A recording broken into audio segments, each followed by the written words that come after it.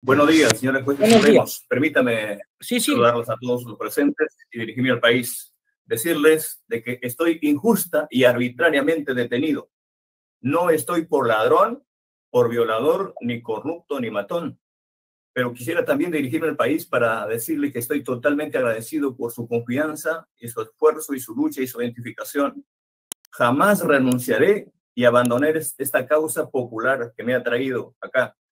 Y desde acá quisiera exhortar a las Fuerzas Armadas y a la Policía Nacional que depongan las armas y dejen de matar a este pueblo sediento de justicia. Mañana a la una y dos de la tarde quiero que me acompañen mi pueblo porque en ese momento creo ver, que en una Terrones, no está, no es el ámbito, no es... espacio Señor Castillo Terrones, por favor, escúcheme, no es el ¿Dónde se espacio?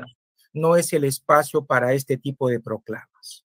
Solamente desde la perspectiva jurídica, forense, es si usted quiere agregar algo más respecto de su defensa, de lo que usted ha escuchado acá, de los cargos que se le atribuyen y del pedido de detención que tiene. Sobre eso, temas generales, por favor, le pido, no lo haga.